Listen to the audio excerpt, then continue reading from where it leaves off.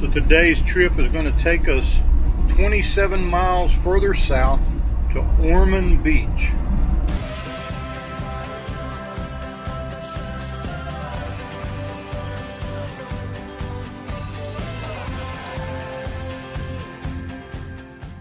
Ready to go somewhere else?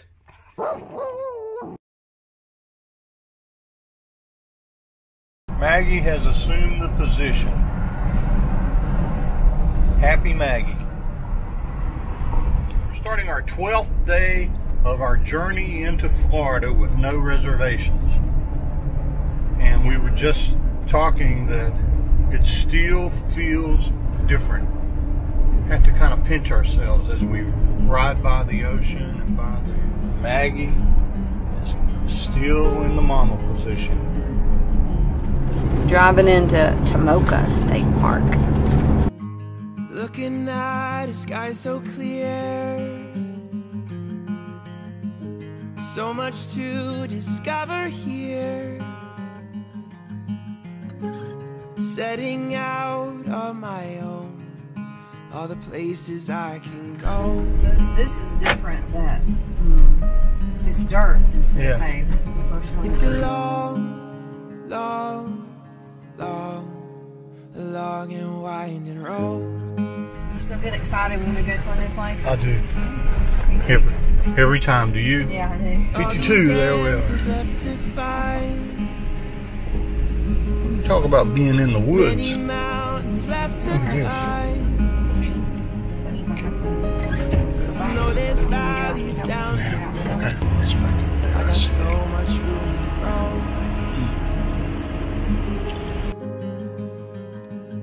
Hmm. It's a long, Feels level to me, dear. Used to be so particular about that. Well, we're set up. Well, wait a minute. I've got to do one more thing before we're set up. Now we're set up. we arrived at Tomoka State Park a little after one o'clock today. Got everything set up, kind of relaxed a little bit. Let a rain shower go through. And now we're walking just around the campground loop with Maggie. And I gotta say, so far, we love this state park. As you can see, it's not paved. It's like being out in old Florida. And we both have uh, have made the comment that we don't need a lot of resort you know, amenities for us to be happy. In fact, this campground makes no bones about it. It's it's old Florida, which means sandy roads and live oak trees and palm trees. But man, it's awesome. It's awesome.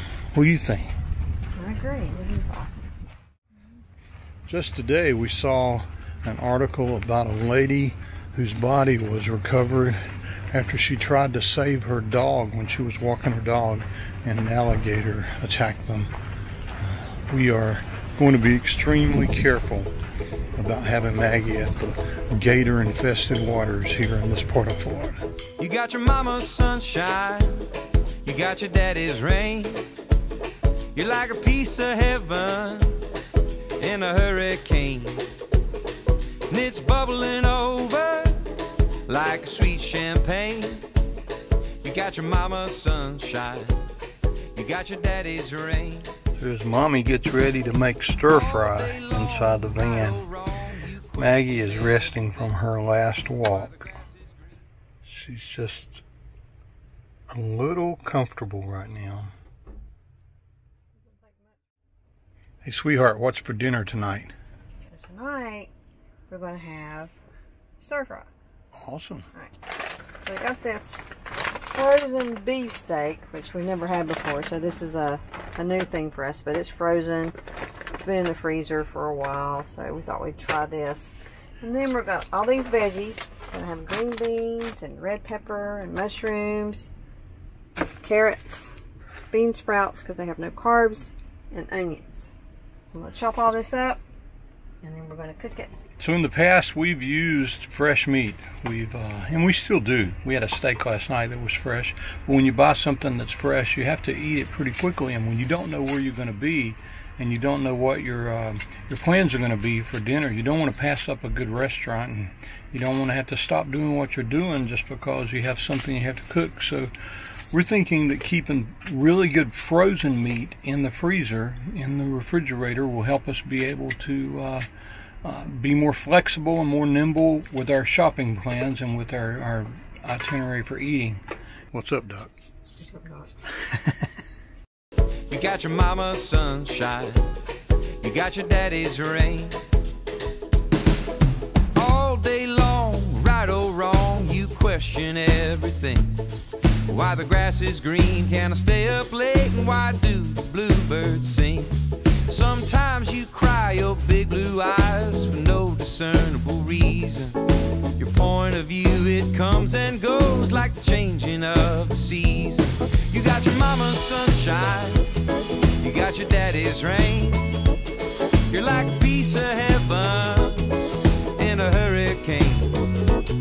And it's bubbling over like sweet champagne. You got your mama's sunshine, you got your daddy's rain. Unlike the kitchen at home, you have to be a little bit more conscious of your workspace. So once you use something, you got to put it back. You act just like your father, yeah, you laugh at your own jokes. You're pleased with your opinions, girl, you want the world to know. We don't need no frozen Lisa, steak? don't need Dolly, she gone. There's your ratio. You're a minute. Look at that ratio. Picasso with your markers on the wall. And we're You cooking. got your mama's sunshine, you got your daddy's rain. Man, You're like a piece of heaven in a hurricane. And it's bubbling over. Maggie like is sweet still champagne. sleeping. You We're gonna go outside and eat. sunshine. I bet she follows. Here she comes. We're outside, Daddy. Run outside. Okay. So Lynn made this meal. I just kind of recorded it. But I want to tell you that this frozen steak option, while it may sound crazy, it's really, really good. This is an awesome meal. There's one big bite there. This is an awesome meal. Meat's really good. I'm just more of a veggie person than a meat person. You're the meat person. Works out well. It does. You're the yin to my yang. if you have meals that you like to make in your van, how about sharing the recipe or at least the description of them down below in the comments? And if you happen to make Lynn's meal here, how about sending us a note on the comment here and let us know if you liked it or not? Well, I'm not going to stop eating just to make a video.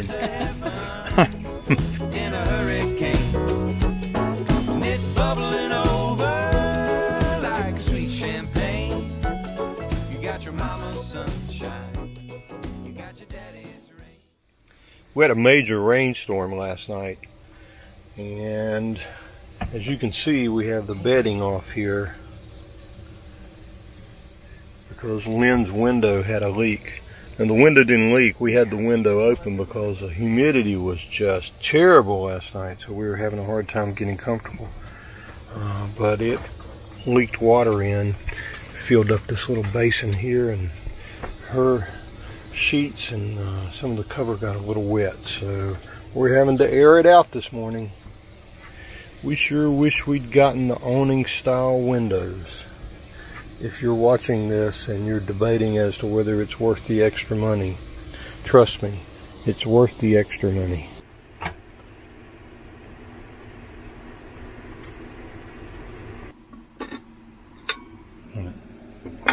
Just don't get that.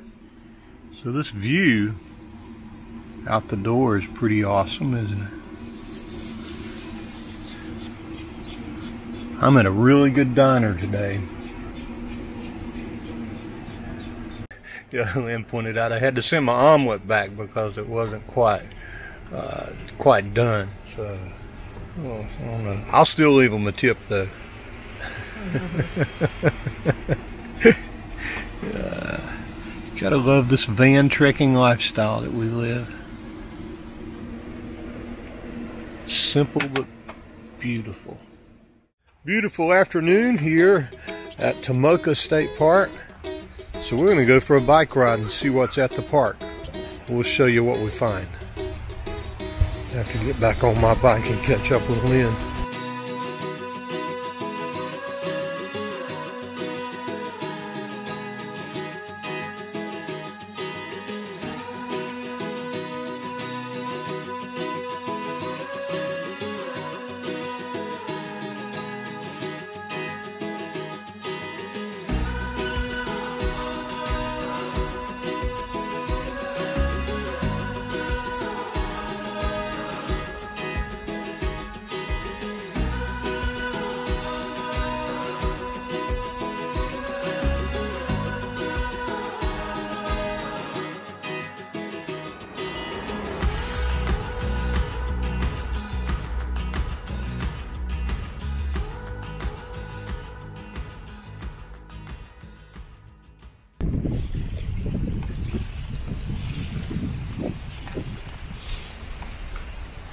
Wasn't blowing, it would be a wonderful day to be in It would.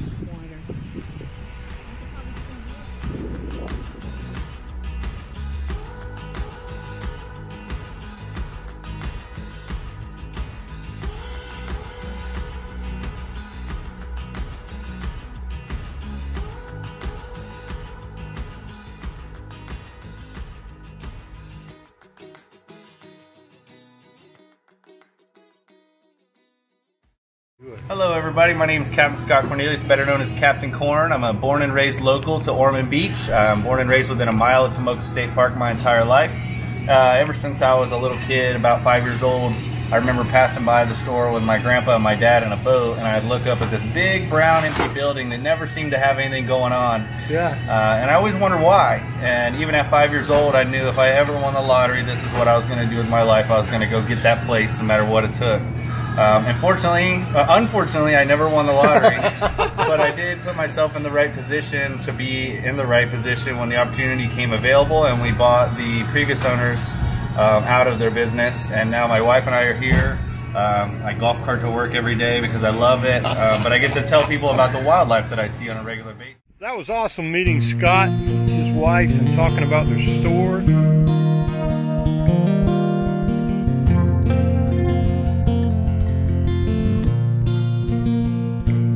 These old shoes have walked up mountains. These old shoes have walked on shores. These old shoes have walked a thousand miles and they'll walk a thousand more. These old shoes are broken comfortable. These old shoes still look brand new. You can learn a lot about who I am just from my old shoes. Some folks play in work boots and some folks work in tennis shoes. Some people own boat shoes, even though they don't own a boat. Some folks work in loafers. Some people mow their grass in bedroom shoes. Me, I wear my Merrells everywhere I go. Cause these old shoes have walked up mountains. These old shoes have walked on shores. It's not always sunshine and roses when you're traveling. Rainy day in Florida. I think we're going to head to the movies. That's okay. It's going to be a good day. So we love these uh, dirt, sandy roads when we were coming in. But as you can see as we're driving out, some of these mud holes are front wheel drive's a welcome thing to have right now. It's a little slippery. Man, this is a big mud hole here. Jeez. Well, we don't have to, but we've chosen to uh, head to the movies whenever it's a bad day, rainy day like this. I calculated how long we needed to get to the movies at 120 and I left maybe five extra minutes. I didn't calculate in the line of people that may, might be at the dump station doing a cousin Eddie just like us. So we're gonna head towards the movies and dump on the way back in.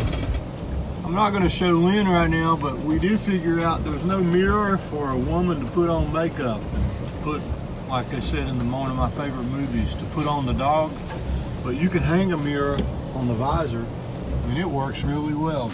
I'm sure our bike racks have something to do with this, but we're always having to get stopped, open up this door, and slam that freaking door. How many times have you guys even seen us do that? And I don't know if it's working or not. One way to tell.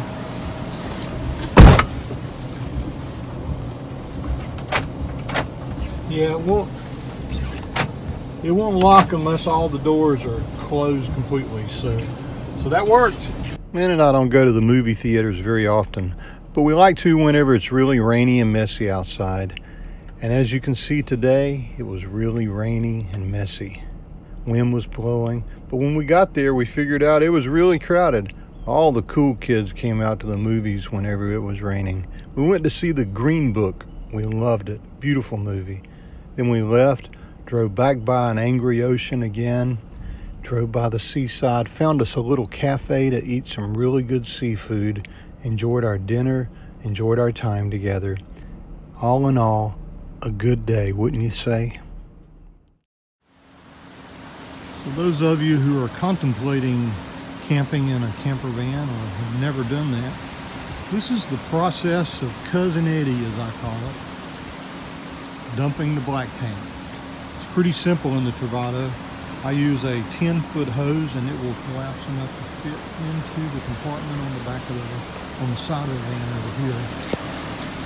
See, in that door. Hey, that door just opened up just for Goes in there. And, and with that, our trip to Tomoka was over and we'll leave you with some shots we took of the sunset the last night we were there. Lynn, Maggie, and I appreciate you always watching the videos. We hope you'll join us on this journey by subscribing, and we hope we see you somewhere out there down the road.